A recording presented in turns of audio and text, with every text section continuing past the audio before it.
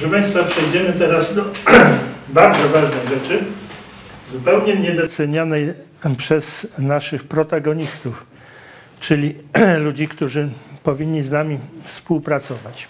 Mianowicie, w jaki sposób fizjologia wpływa na psychologię i odwrotnie. Książkę pod tytułem Psychocybernetyka napisał lekarz Maxwell Maltz, który był chirurgiem plastycznym i robił operacje plastyczne w latach 60. za ówczesne 50 tysięcy dolarów. Podobno tanio było. W każdym razie robił je udatnie i ludzie, którzy pozbywali się jakichś tam y, swoich y, uporczywie im w głowie siedzących y, cech, na przykład mieli za, za duże uszy, czy mieli za duże nosy, czy mieli za małe szczęki, albo za duże szczęki. W każdym razie coś tam im wygładzał w urodzie i nagle po takim zabiegu operacyjnym stawali się zupełnie innymi ludźmi. Startowali do życia z wielkim wigorem, osiągali wielkie sukcesy, jemu dziękowali, następnych przysyłali. No i co? Jest takie powiedzenie, że nie można się samemu wyciągnąć z bagna za włosy, chociaż no, różne tam bajki, y, na przykład rosyjskie, było no, takim Ilia Muromiec się nazywał, który sam siebie za włosy wyciągnął, a zginął w ten sposób, że tupnął i ziemia się pod nim rozstąpiła. No ale nie o to chodzi. Proszę Państwa, w jaki sposób w takim razie fizjologia wpływa na psychologię, a psychologia na fizjologię? Przejdziemy do naszego podstawowego rysunku, czyli do wzorca systemu autonomicznego. I jeszcze raz sobie powiemy, że system autonomiczny składa się z korelatora, homeostatu i akumulatora. Korelator zajmuje się informacją, akumulator energią, homeostat utrzymuje to w równowadze, zaś na, na proszę Państwa, otoczenie oddziaływujemy efektorem, a widzimy tylko i wyłącznie oddziaływanie efektora. Reszta jest niedostępna oglądowi.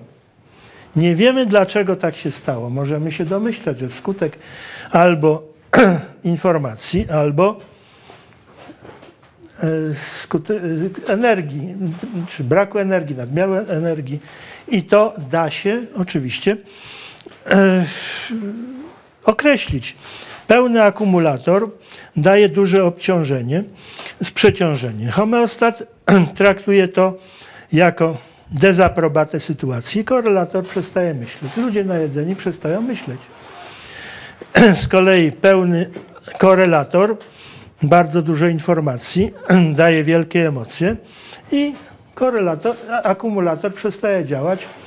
Ludzie się tak zamyślają, no Sokrates podobno tak się zamyślił, że trzy godziny na niego śnieg padał i on nie zauważył. Była taka scenka w czasie oblężenia Potidai, to było 400 lat przed naszą erą, ale już wtedy widziano, że wrażenia jakieś tam emocjonalne powodują takie dziwne efekty. W związku z tym musimy sobie powiedzieć, jakie to tkanki naszego organizmu wypełniają jakie funkcje. Pułapka jest taka. Jeden, jedna tkanka może wypełniać jedną funkcję, dwie funkcje, a nawet trzy funkcje. Rzadko kiedy wypełnia tylko jedną funkcję, byłoby to konstrukcyjnie nieuzasadnione. Za dużo by było tych elementów. Kiedy Ashby wybudował homeostat jako pierwszy taki techniczny element, to homeostat Ashby'ego miał aż 17 różnych kawałków. W naturalny sposób taki e, system by nie powstał. Natomiast homeostat mojego typu, który można sobie obejrzeć wchodząc na stronę filozoficzne aspekty genezy. Rok 2013 mój artykuł na temat e, rozwoju systemów autonomicznych składa się tylko z czterech elementów i czterech połączeń i to już jest dużo prostsze i nawet można by było powiedzieć, że gdyby jednak coś się działo, to coś takiego samo przez się mogłoby powstać. Dlatego też ze względu na łączenie funkcji są wielkie pomyłki z grubej rury. Co jest korelatorem? Co przetwarza nam informacje? No, mózg. Ale czy cały? No nie, no bo w mózgu jest 20, niektórzy mówią 24 już. Nie nadążam z internetem, bez przerwy odkrywane są nowe tkanki w mózgu. Wydawałoby się, że no przecież wszyscy wiedzą od czasu, jak tam ktoś komuś głowę rozdalił, czy też jak zaczęto zjadać muszczki cielęce. Wiadomo, że tam coś tam jest, ale okazuje się, że każda z tych tkanek ma inne zadanie. No ale powiedzmy sobie mózg. No dobra. Ale w takim razie, gdzie wchodzą bodźce, a gdzie z nich wychodzą? No rzeczywiście. No jest ze względu na to, że mamy teraz dobre, dobrą aparaturę, jakby powiedzieć, podglądową czy podsłuchową, możemy widzieć, tak się mówi, pracę mózgu na podstawie e, impulsów elektrycznych, które tam się przemieszczają, no to widzimy, że szara substancja, ta kora mózgowa, no, ma bardzo wielką, wielkie znaczenie do przetwarzania informacji. Ale jakie znaczenie ma biała substancja? Otóż biała substancja, proszę Państwa, to jest pamięć. I ta pamięć utrwala się przez melinizację tych białych kawałków neuronów. Te właśnie tkanki okrywają się taką powłoką i mają większą przewodność. Mają większą, proszę Państwa, korelacyjność. Natomiast, żeby powstał rejestrat, tośmy sobie mówili tam dwa dni, dwa wykłady wcześniej, to musi być dopływ energii. I energia przepływa przez homeostat. No dobrze, ale gdzie jest homeostat? No udało mi się nawiązać bliższe kontakty i zaprzyjaźnić się z profesorem Rudolfem Klimkiem, który jest neurologiem, endokrynologiem, a obecnie położnikiem. Prowadzi własną klinikę Fertility Center i pomaga parom, które mają kłopoty z. No, po prostu kobiety mają kłopoty z urodzeniem dziecka. Mówi się leczy. No, to, no to właściwie nie jest choroba, to jest pewna przypadłość. Usuwa przypadłość, przypadłości dotyczące bezpłodności. Bo właśnie działanie homeostatu wpływa na, to, na tą właśnie przypadłość. Okazuje się, że w naszym organizmie homeostat jest rozczłonkowany w kilku miejscach. To jest podwzgórze, a w podzgórzu jest osiem różnych substancji, osiem różnych tkanek mózg tak zwany gadzi, tarczyca, nadnercza i gonady. Stąd rozmaite pomyłki, rozmaite, proszę Państwa, wręcz yy, zauroczenia pewnymi odkryciami.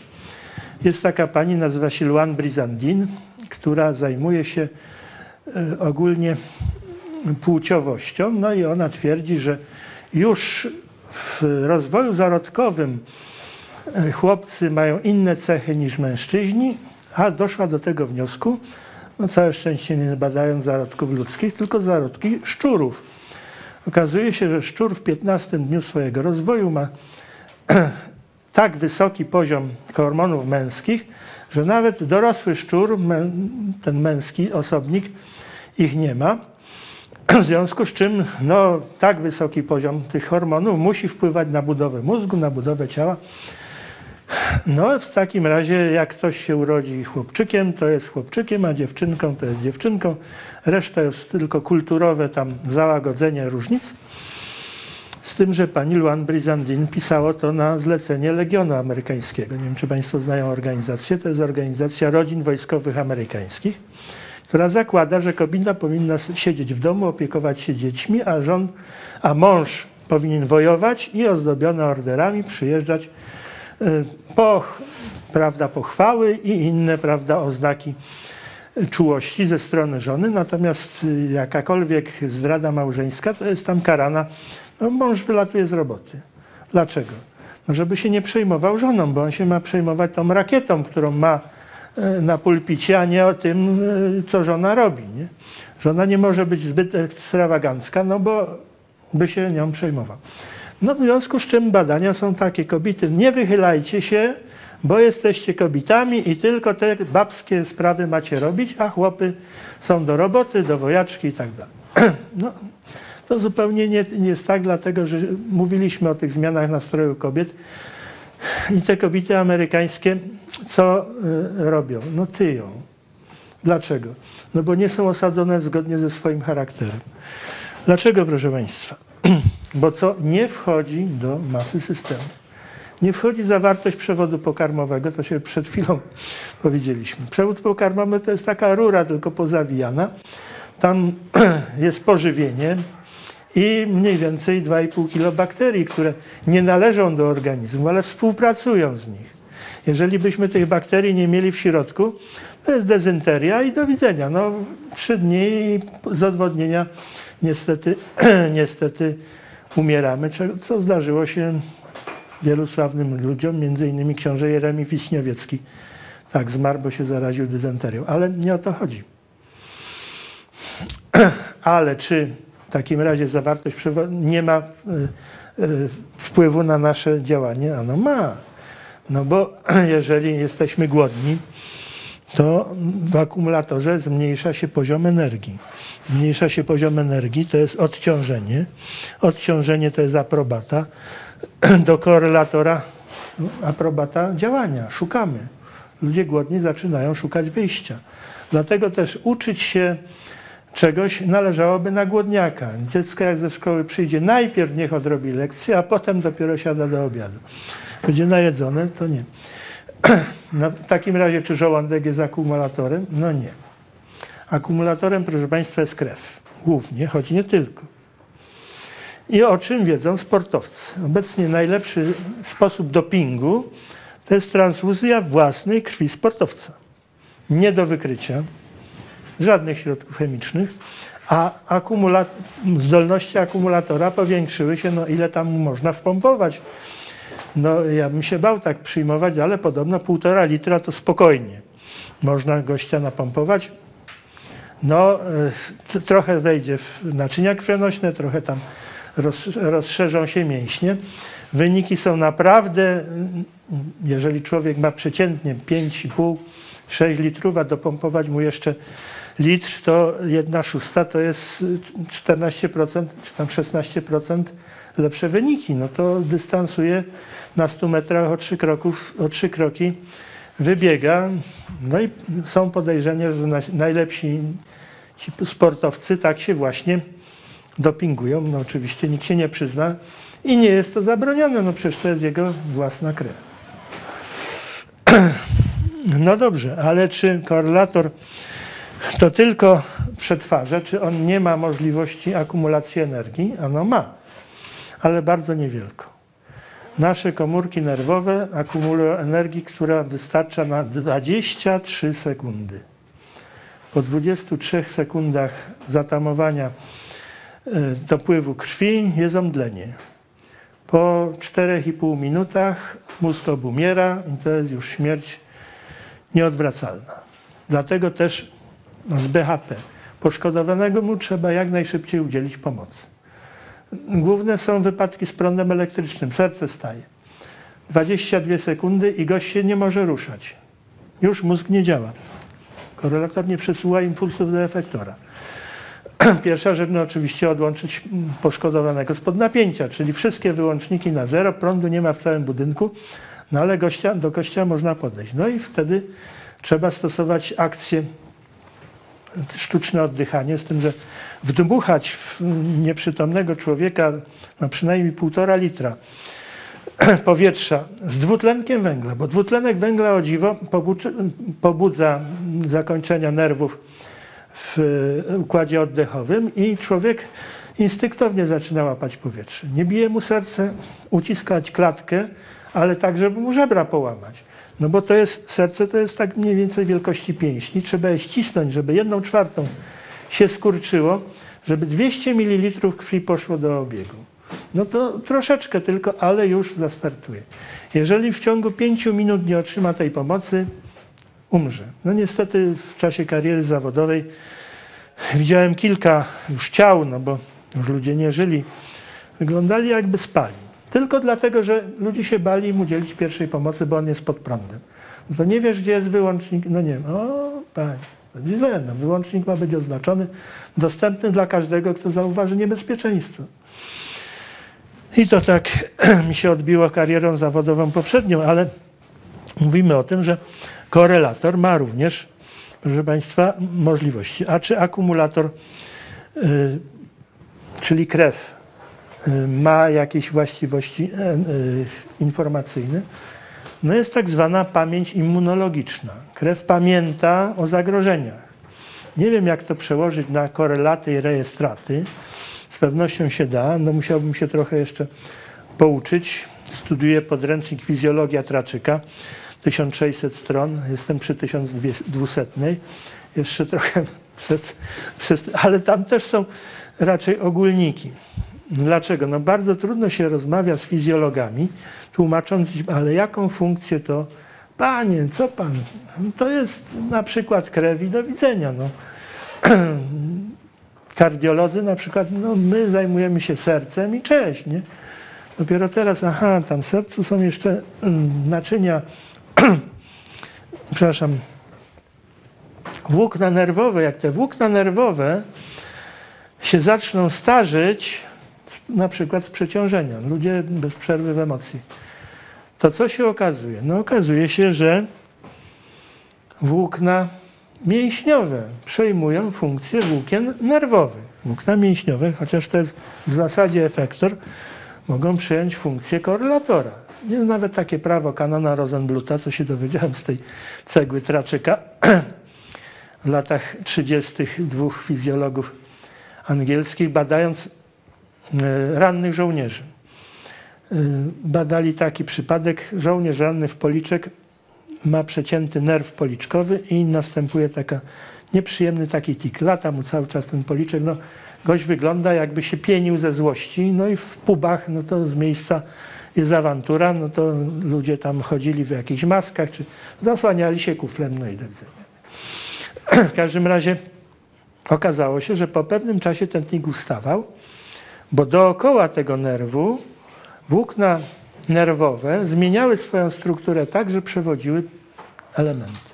No to jest bardzo ładne, tylko że w sercu dookoła tych włókien nerwowych zaczynają się e, te włókienka mięśnia sercowego tak upadabniać do nerwowych, że co następuje? Migotanie serca.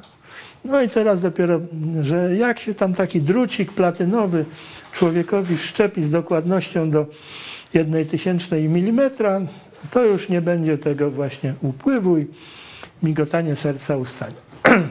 Takie precyzyjne operacje się teraz, proszę Państwa, robi. No dobrze, a w takim razie do czego służą włosy?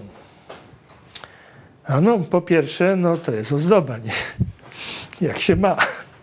Ja już tej ozdoby mam coraz mniej, bo mam dobrą żonę. Jak zobaczyła siwego, to wyrywała.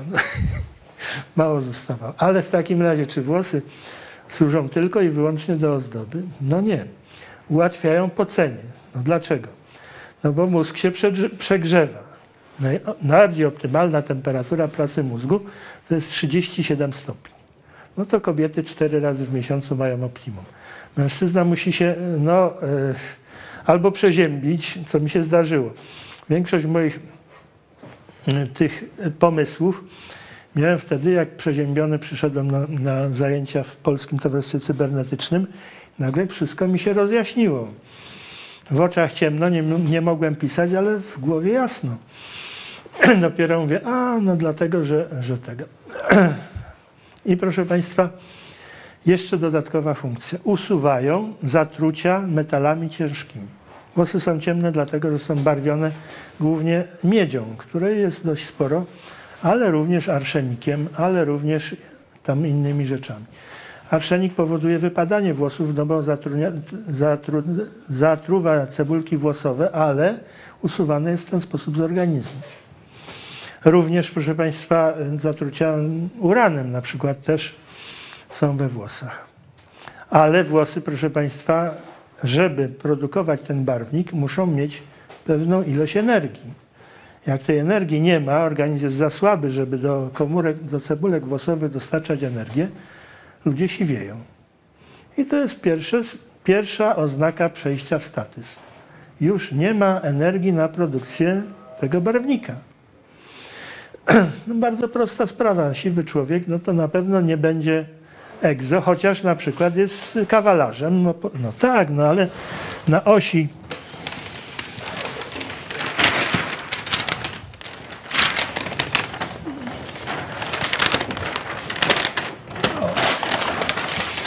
z kawalarzem, bo mu się to przesunęło na tej osi. I proszę Państwa, y, można powiedzieć, że on no, spełnia swój zawód. Najpierw robił to, y, bo lubiał, potem robił to, no bo taki miał zawód, a teraz rozśmiesza ludzi dla pieniędzy.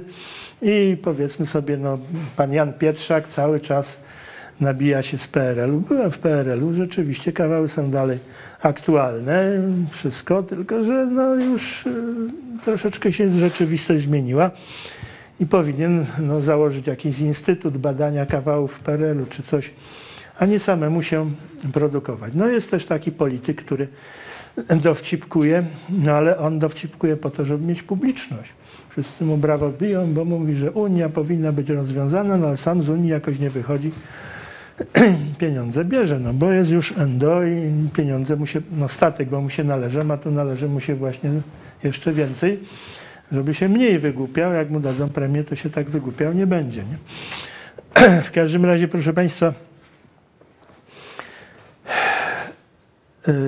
właśnie to wczesne siwienie jest oznaką, moim zdaniem, przechodzenia w status. No i teraz tkanka tłuszczowa. No, tkanka tłuszczowa to jest to przyjazne otoczenie, z którego pobieramy energię, jak już nie mamy możliwości. Ale ponieważ ona zwiększa moc jałową, bo tkankę tłuszczową no musimy podgrzewać. Cały organizm podgrzewamy. No to jak zwiększamy moc jałową, to zwiększa się nam tolerancja. No i ludzie dobrze nakarmieni, otyli nie protestują, im jest wszystko jedno. Byle była tam pełna micha, Micha Kicha i coś tam kluchy, nie protestują. No i bidne kobiety amerykańskie tyją, no bo wtedy nie protestują. Po co będzie pro, protestować, jak sobie weźmie talerz chipsów czy tam czegoś. Zauważcie Państwo, że niektórzy nasi politycy źle osadzeni, było takich dwóch pierwszych prezydentów, prezydent Wałęsa i prezydent Kwaśniewski, no przytyli bardzo i to w ciągu roku chłopaki przytyli po 15 kilo, bo byli źle osadzeni. Nie mogli robić to, do czego mieli talent, tylko musieli robić to, za co im płacili, prawda? Jeszcze tam z pistoletem przy skroni, jak nie, to nie będziesz się słuchał, to przestaniesz być prezydentem, przestaniesz być w ogóle. No tak to, tak to wyglądało z punktu widzenia cybernetyka. Natomiast o dziwo, no, obecny nasz prezydent troszkę przytył, ale tylko troszkę, czyli nie bardzo mu pasuje, ale tak na ogół to trzyma linię. Może go żona tam trenuje na, na jakimś trenażerze, żeby, żeby spalał. No i proszę Państwa, potrafi się, jak to się mówi, postawić. Proszę bardzo, prezydent podpisuje, ale może nie podpisać, ponieważ uważa, że te kandydatury na przykład są nieprawidłowe, czy złe, czy... No i powstają teraz, no jak to, nie, tamci podpisywali, a ten nie podpisał. No nie jestem notariuszem, nie muszę, nie, mo, nie muszę wszystkiego podpisywać, co widzę. Nie? Także tutaj między na przykład kandydatami, na prezydenta w Stanach Zjednoczonych. No oboje są endodynamikami, endostatykami. Właściwie endostatykami. Z mianowania swojej partii chcą objąć stanowisko. No i proszę Państwa, no, Trump jest otyły. W związku z tym tolerancję ma większą, no i być może będzie zwolennikiem większych swobód obywatelskich. No, miłośnicy broni bardzo go naciskają, żeby znieść zakazy posiadania broni, bo najmniej napadów jest w Oklahomie. Jest taki stan w Stanach Zjednoczonych, że każdy, kto ukończy 12 lat, może mieć przy sobie broń pod warunkiem, że będzie widoczna. Więc jeden gość przyjechał do urzędu czołgiem, żeby się upomnieć o swoje. No broń była widoczna. W każdym razie dostał mandat za niszczenie trawników. I tam rzeczywiście jest najmniej strzelani. No wszyscy Mają, no zaczniesz się wygłupiać, to cię kolega za chwilę odstrzeli. A najwięcej jest w Bostonie, bo w Massachusetts pozwolenie na broń to bardzo rzadko jest udzielane. W rezultacie no, ci, co mm, się przepisami nie przejmują, broń mają, a ci, którzy się przejmują, broni nie mają. Także, proszę Państwa, sądzę, że znowu pani Hilary, mm, która jest no, szczupła, mm, będzie raczej rygorystycznie podchodzić do różnych przepisów. Może bardziej rygorystycznie niż Trump. No, w każdym razie Trump jest bardziej wesoły, a ponieważ w, w Ameryce tej szerokości geograficznej przeważają dynamizmy dodatnie, czyli egzodynamizmy, no to ma, jakby powiedzieć, no, większy pod, poklas. Z kolei pani Hilary jest kobietą, no więc solidarność kobiet powinna spowodować, że dostanie głosy, z tym, że u kobiet, jak już żeśmy sobie mówili, solidarności nie ma. Ze względu na różnicę nastrojów ta solidarność bardzo szybko się, się proszę Państwa, yy, rozpada. Przyjaciółki się bardzo często kłócą, no bo rozmijają się te właśnie dynamizmy. I jeszcze, mm, czyli, aha, jeszcze takie obyczaje murzyńskie. Dla murzynów siwienie oznaczało opanowanie przez złego ducha. Ludzie siwi to byli opanowani przez złego ducha, bo oni nie uczestniczą w zabawach, chcą piwa więcej niż im się należy, gromadzą jakieś tam zapasy i takich po prostu zabijano. Był taki film Zuluszczaka o państwie Zulusów, które było w południowej Afryce przed y, jeszcze podbojem przez białych. No i y, on był bardzo długo królem, ponieważ biały misjonarz farbował mu włosy. Ale skończył mu się barwnik, się okazuje, że król siwieje, dostał dwie dzidy w plecy, bo był opanowany przez złego ducha. Za dużo chciał. Chciał utrwalić państwa. Państwo to jest zabawa. Wojna to jest świetna zabawa. Tańczymy, rzucamy w siebie, odrzucamy. No ktoś tam poległ, no przykro, no koszta zabawowe. Taka ustawka była, jak teraz ustawka kibiców.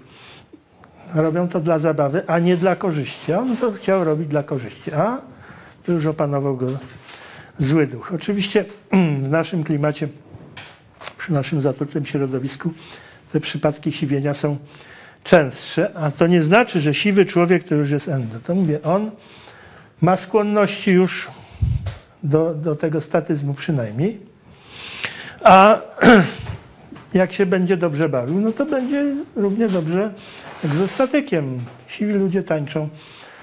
Dziadkowie na każdym weselu są piersi do zabawy. Dziękuję. Czekam na pytania. Dziękujemy bardzo. Jest trochę pytań. Pierwsze zadaje pan Tomasz. Czy w ujęciu cybernetycznym układ rozrodczy żeński jest podobnie jak układ pokarmowy traktowany jako otoczenie systemu? Pytam, bo w kontekście kontrowersji, jakie od lat wywołuje temat aborcji oraz dla wyznaczenia precyzyjnej granicy autonomii w decydowaniu o swoim ciele przez kobiety.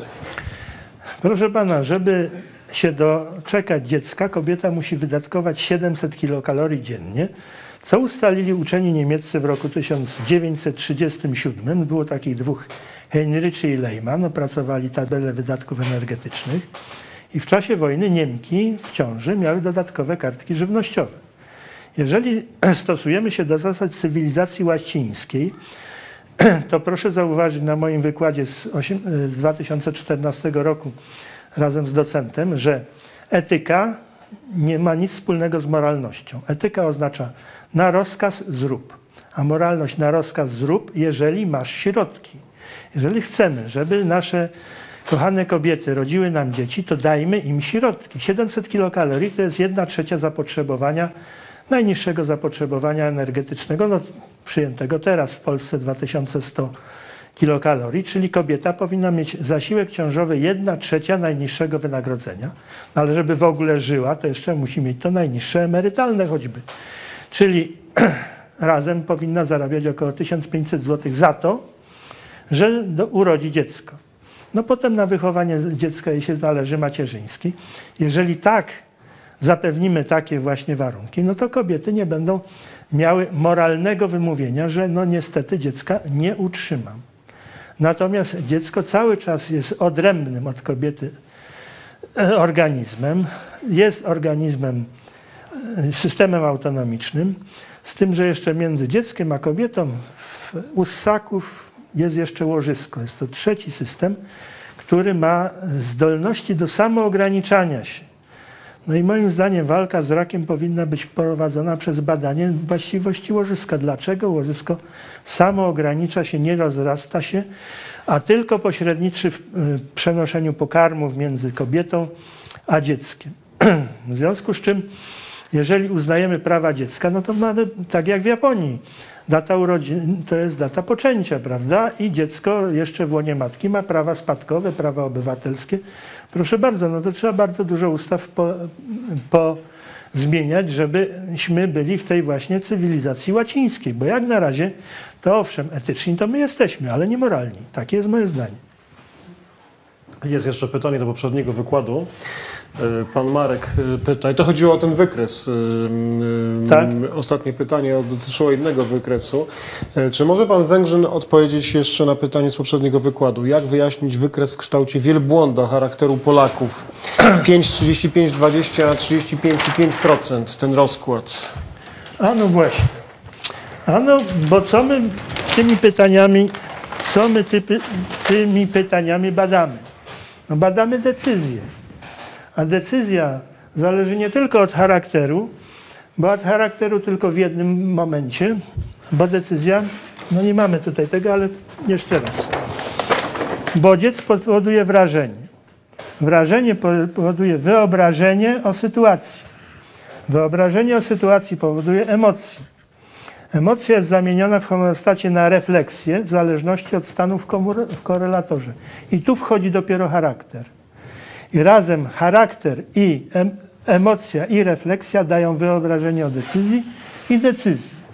Jeżeli ludzie odpowiadają, że to, co Mazur uznał za objawy statyzmu, to tylko 20% sytuacji, to znaczy, że ta sytuacja im nie odpowiada. W naszej sytuacji jest nadmiar przepisów. Według badań Uniwersytetu Poznańskiego za rok 2014 to 78 przepisów służyły tylko i wyłącznie biurokracji, nikomu innemu. 78%. Nie wiem, jak oni te procenty wyliczyli, ale wtedy było ponad tysiąc ustaw, więc było z czego liczyć. Ktoś tam zrobił z tego doktorat. y, Koledzy z Poznania mi to właśnie wyjaśniali. No i przeszkadza w zabawie.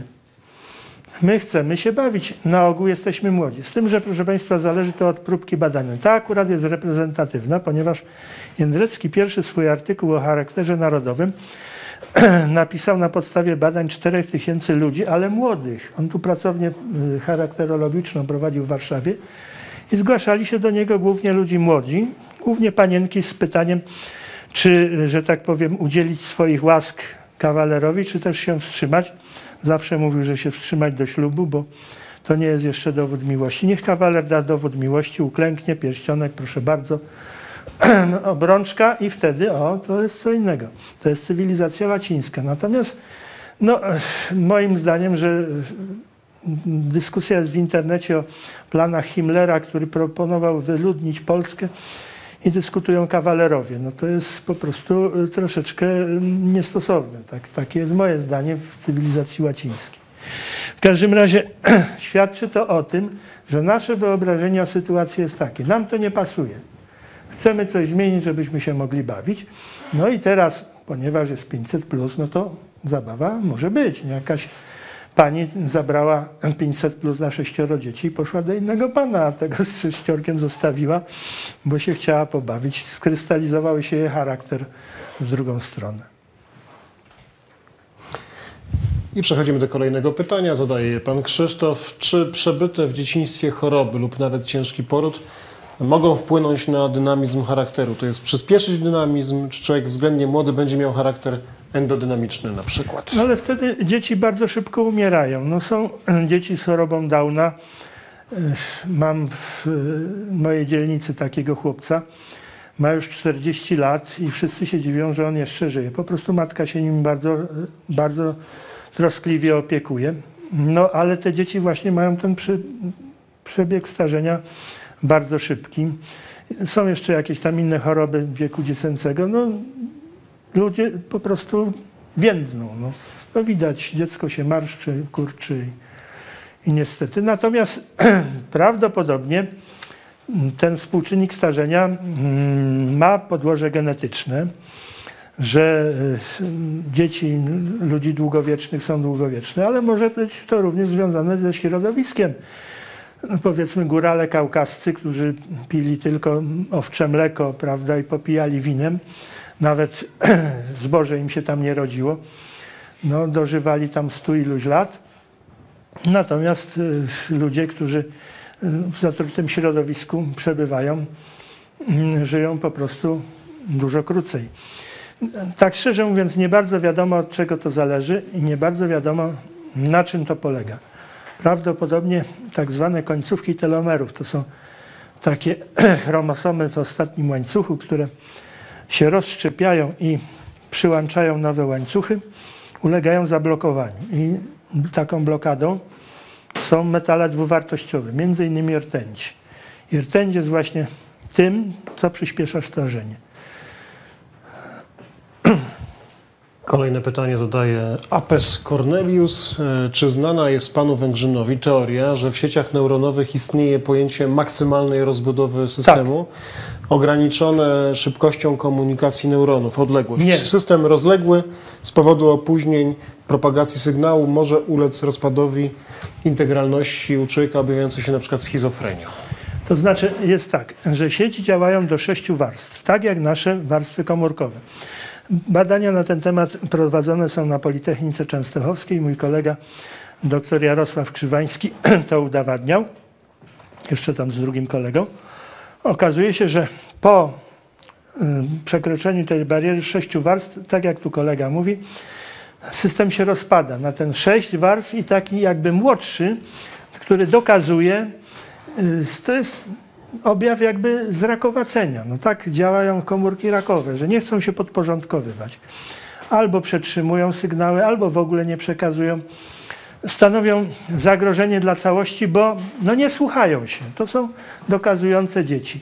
Nie wiem dlaczego tak jest. No, koledzy napisali sążni- sążnistą książkę, przeczytałem tylko tytuł.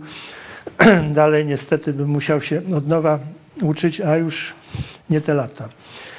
Tak właśnie jest. Do sześciu warstw i y, komórki neuronowe naszym mózgu i te sieci neuronowe budowane jako algorytmy działają dobrze. Czy istnieją skuteczne sposoby stymulacji korelatora w okresie jego rozbudowy w celu zwiększenia wybranego parametru? To pytanie od Bartosza K. Oczywiście. No po pierwsze, żeby mieć przewodność, to trzeba mieć substancje, które ją budują.